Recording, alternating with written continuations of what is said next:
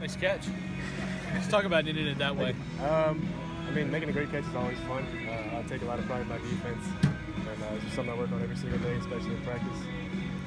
What's, like, did last night give you guys confidence to come out today and just getting that win like you did? Um, walk-off wins are always fun. Uh, we probably shouldn't have to be in that situation, but um, we knew we were going to come out today and play strong. Uh, there's always a ton of momentum coming off a walk-off win, and so we just wanted to come here and uh, bring the same momentum from last night and uh, get a win. Nick with 12 fly ball outs, you know when he's on, you're going to get a lot of work.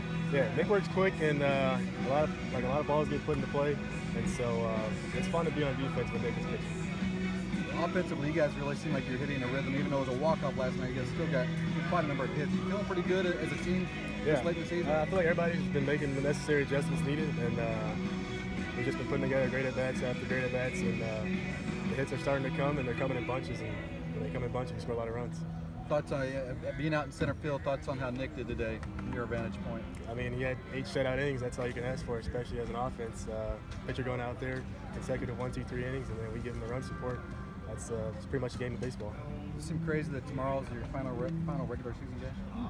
Yeah, it flew by. Uh, three years have flown by. I mean, I don't know. I can remember my first game as a freshman. Uh, time really does travel fast.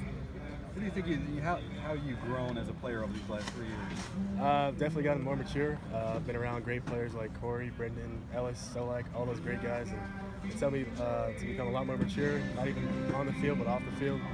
And um, I owe a lot of credit. I owe a lot of credit to all those guys. John?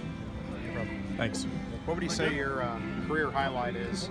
Uh, definitely going to Omaha. And, um, I mean, every, it's every college baseball player's dream to go to Omaha. So, I mean, just going there is something you can cross off your bucket list, and now hopefully we can cross out winning a national championship.